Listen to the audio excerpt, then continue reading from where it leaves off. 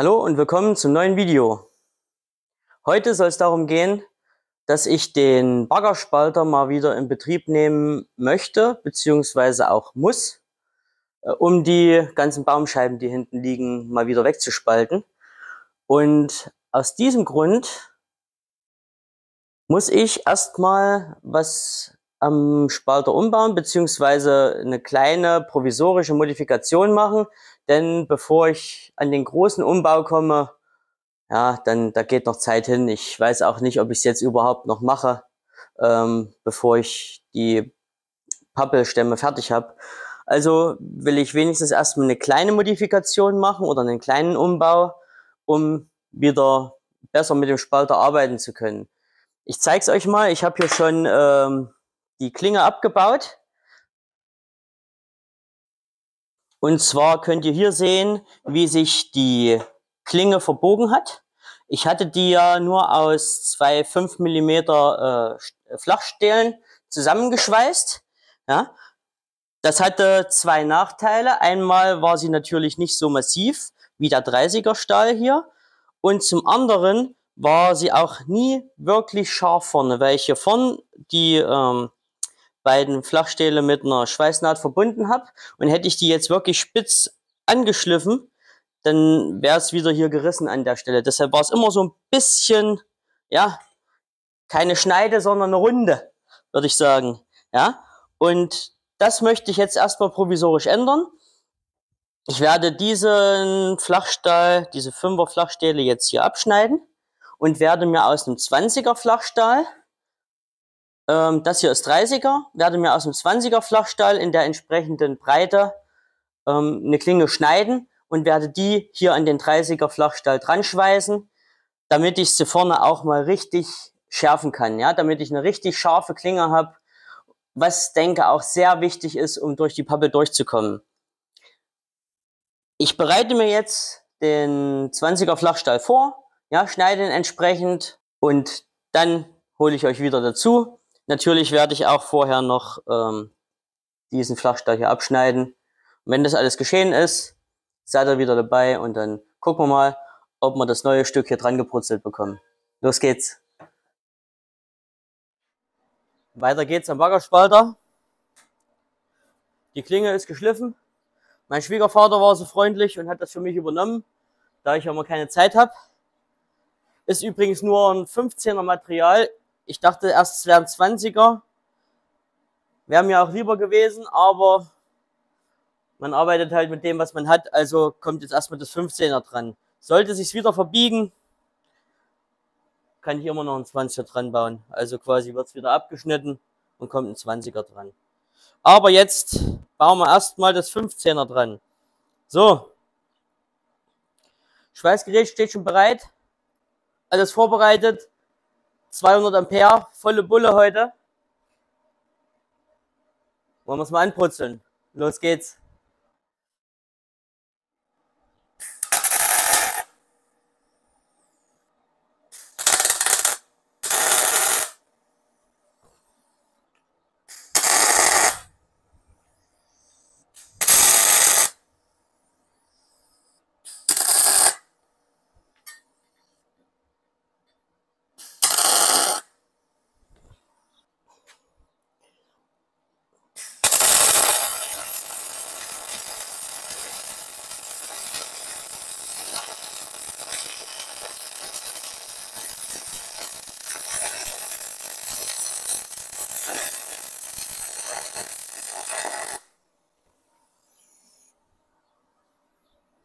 Ganz schön warm heute. Ziehen wir mal lieber einen Pullover an.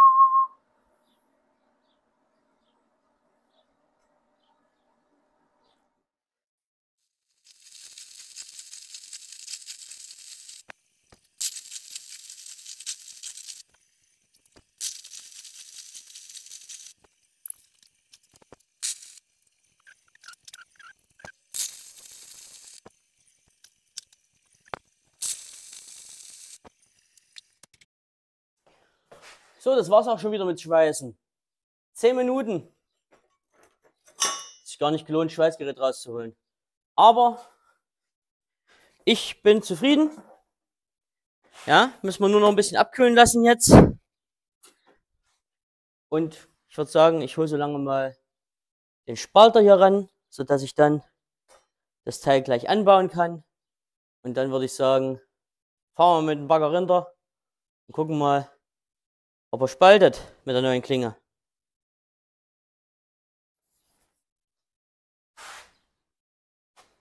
Ergebnis ist für mich wieder sehr zufriedenstellend.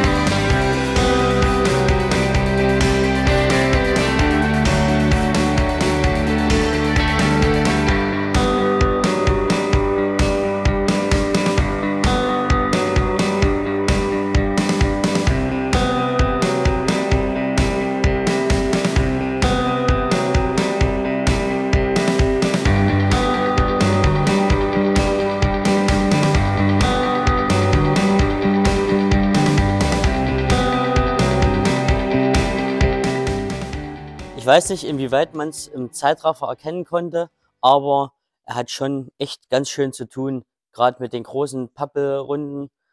Ähm, ja, die sind nun auch schon etwas angetrocknet, was es nicht gerade leichter macht, die zu spalten. Da hat er wirklich Probleme. Nach wie vor hat ja damit zu tun, dass zum einen der Bagger zu wenig Druck liefert und zum einen hier der Zylinder einfach zu klein ist. Aber ich habe derzeit einfach keine Zeit, um ähm, den Zylinder umzubauen. Von daher muss er da wohl jetzt erst noch mal ein bisschen durch. Ähm, ja, aber eine andere Sache äh, muss ich noch machen.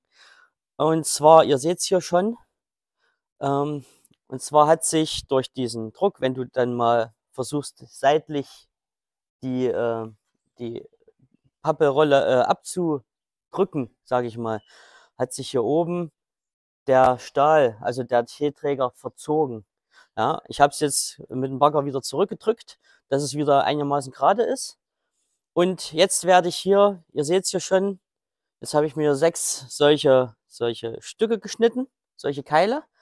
Und hier kommen hier drei davon hin und auf die andere Seite auch drei, die dann im Prinzip verhindern sollen, dass sich hier oben der T-Träger wegdrehen kann.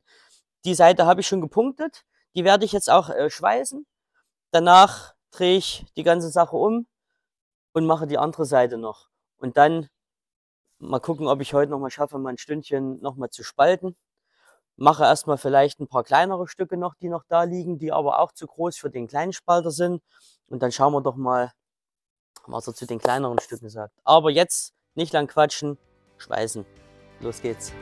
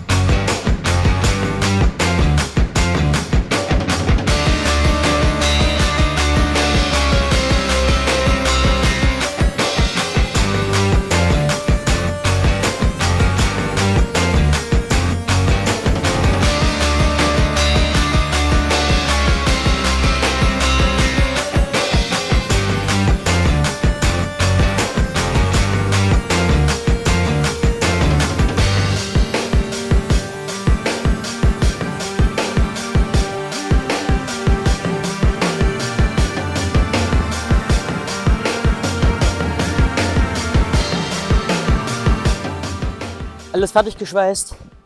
Ich habe auch gleich heiß und heiß ein bisschen Rostschutzfarbe drauf geknallt. Ja, hat sich gleich ein bisschen eingebrannt. Und ich würde sagen, ich verliere nicht lange Zeit. Ich fahre gleich wieder runter und spalte noch ein bisschen. Ja, sonst komme ich ja gar nicht mehr vorwärts. Los geht's!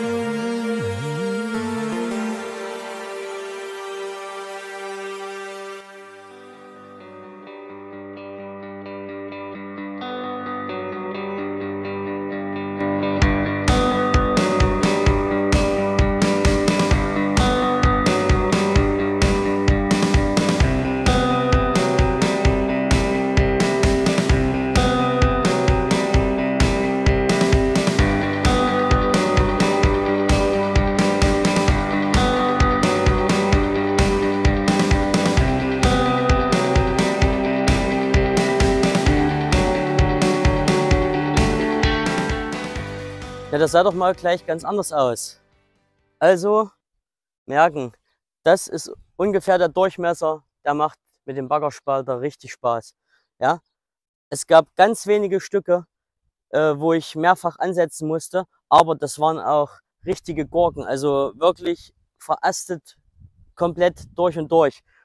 Sonst hat es jetzt hier super geklappt. Selbst das 60 cm lange Zeug hat er eigentlich fast problemlos gespaltet. Wie gesagt, auch da nur, wo wirklich Äste drin waren, musste ich ein bisschen kämpfen, aber habe alles klein bekommen. Also, es ist nicht so, dass er keine Kraft hat. Ja, wie gesagt, es könnte natürlich mehr sein, aber für das Zeug, für diesen Durchmesser, optimal damit. Also wirklich, du sitzt drinnen und bewegst zwei Hände und äh, damit spaltest du Holz. Ja, du brauchst nichts zu schleppen, nichts anheben, gar nichts. Klar, das Zeug muss nochmal mit einem kleinen Spalter dann äh, nachgespaltet werden, aber das ist kein Ding. Also wirklich, es ist schon eine Erleichterung. Ja? Man kann nicht sagen, dass es absoluter Müll ist, ja, der Baggerspalter. Wirklich, es hilft ungemein. Ja, was soll ich sagen? Das war's für heute. Ihr habt gesehen, wie ich das Ding ein bisschen modifiziert habe. Ja, immer so nach und nach. Vielleicht habe ich irgendwann wirklich nochmal Bock, den größeren Zylinder drunter zu bauen, aber ich denke mal, da wird auch der Doppel-T-Träger dann an anderer Stelle nachgeben. Ähm, ich glaube, dann wird er zum schwächsten Glied. Auch die, die Schrauben vorne sind ja M16-Schrauben, die die Klinge halten. Die lockern sich auch schon immer. Also die muss ich auch schon wieder nachziehen. Habe ich eben gesehen, dass es, dass es sich ein bisschen wegdrückt. Deshalb, ich glaube, der Zylinder wird dort dran bleiben. Ja, da werde ich nichts dran ändern. Denke ich zumindest nicht. Wenn es anders sein sollte, bekommt ihr es mit, dann seid ihr natürlich dabei. Aber jetzt bleibt es erstmal so. Heute möchte ich das Holz, was ich gestern mit dem Bagger vorgespaltet habe, mal ein bisschen zur Seite räumen, beziehungsweise zumindest die 66er Längen, denn die liegen hier genau im Weg. Äh, ich komme hier beim, Rasenmähen nicht, äh, beim Rasenmähen nicht mehr durch und einen Bagger habe ich mir auch eingebaut und deshalb will ich das heute mal beiseite räumen. Weiterer Vorteil ist, dass ich endlich mal meine letzte Reihe im Holzstapel, äh, da liegen nur 66er Längen, dass ich die endlich mal voll bekomme und die Plane endlich äh, ordentlich äh, zum Abdecken äh, hinräumen kann. Deshalb fange ich jetzt mal an. Ich quatsch wie immer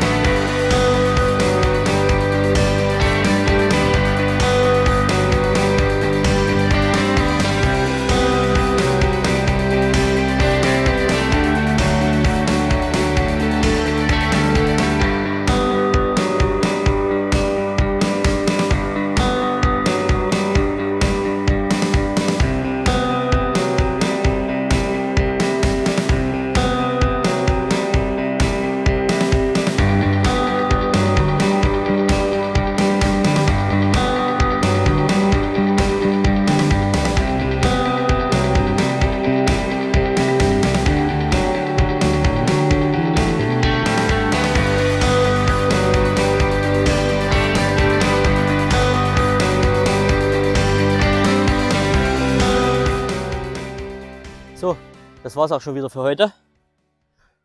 Die 66 Euro Stücke sind weg. Der Weg ist wieder frei. Mir reicht es auch jetzt. Es ist zwar gar nicht warm draußen, aber ich schwitze trotzdem schon wieder. Also machen wir jetzt Schluss für heute an dieser Stelle. Ich mache noch ein paar andere Sachen jetzt. Ja, wie sage ich immer so schön, nichts ist so beständig wie die Änderung.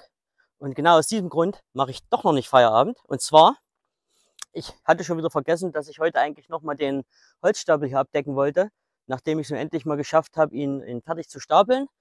Ähm, dazu habe ich mir jetzt auch schon hier die Siloplane bereitgelegt und als ich den, den ersten Stapel hinten, die, erste Reihe, die ersten Reihen abgedeckt habe, äh, habe ich das ja mit so Holzstücken gemacht und da hatte ich in den Kommentaren äh, von einem Zuschauer äh, den Hinweis bekommen, versuch's doch mal mit Silosäcken. Äh, die füllst du mit Kies und die sind sehr beständig, widerstandsfähig, UV-beständig und äh, können halt viele Jahre verwendet werden und die gehen super, die eignen sich super dafür. Und danke nochmal Volker an dieser Stelle an dich für diesen Tipp. Äh, ich habe es auch dann sofort bestellt, die, den gleichen Abend noch. Hier sind die Silosäcke. Ich habe es jetzt in meinem Fall mit 1632er Filterkies gefüllt, einfach nur, weil ich den noch da habe. Und die wiegen auch, naja, so 20 Kilo vielleicht, ja, um die 20 Kilo würde ich schätzen. Und da werde ich jetzt auf die 5 Meter, werde ich vier Stück äh, mal äh, zum Abdecken oder zum Beschweren nutzen. Ja, jeweils außen einen hin und in der Mitte noch zwei Stück. Und ich bin mal gespannt, ob das hält, aber ich bin da echt guter Dinger. Also dadurch, dass die sich auch schön dann dem Holz ein bisschen anpassen, gehe ich mal davon aus, das ist eine gute Sache. Und deshalb fange ich jetzt auch an. Los geht's.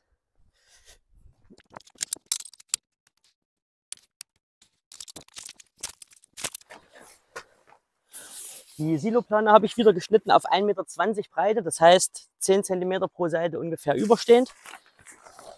Das genügt für meine Begriffe.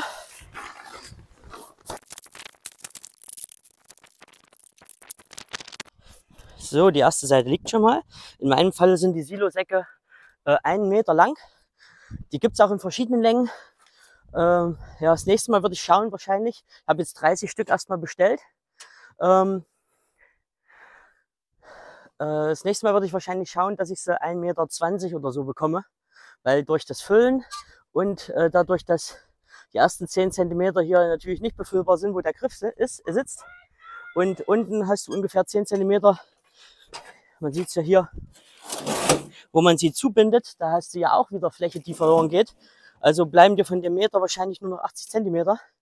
Deshalb würde ich sie wahrscheinlich als 1,20 Meter oder 25 oder 1,30 Meter, je nachdem, äh, muss ich mal schauen, als was es die noch gibt, als welche Länge, würde ich die das nächste Mal ein bisschen länger bestellen. Dadurch, dass ich ja nun hier drei Reihen a 33 cm mit einmal abdecke, ja, also im Prinzip einen guten Meter.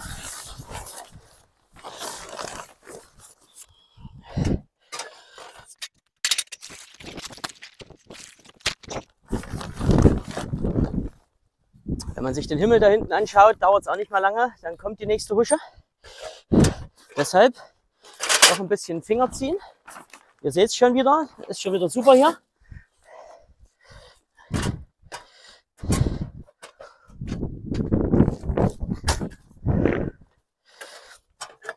Klappt schon wieder wie am Schnürchen.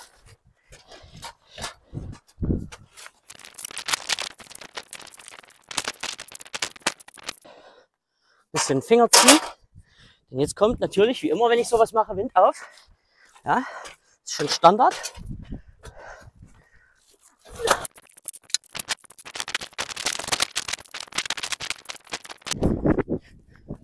So. Da bin ich doch mal gespannt, ob das hält.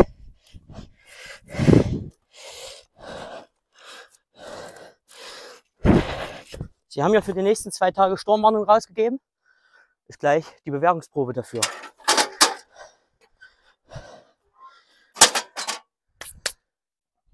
So, Freunde. Jetzt bin ich aber für heute wirklich am Ende. War nochmal eine schnelle Aktion. Wie gesehen, fünf Minuten ist das alles durch. Gut, plus Säcke befüllen, nochmal zehn Minuten, also Viertelstunde und Plane zuschneiden. Viertelstunde insgesamt hast du hier so eine Reihe von fünf Metern abgedeckt. Ja, was bleibt mir jetzt noch weiter zu sagen? Wenn euch das Video gefallen hat, wie immer Abo nicht vergessen und Daumen nach oben. Und wir sehen uns nächsten Samstag zum neuen Video. Bis dahin sage ich wie immer, bleibt fleißig und gesund und Ciao.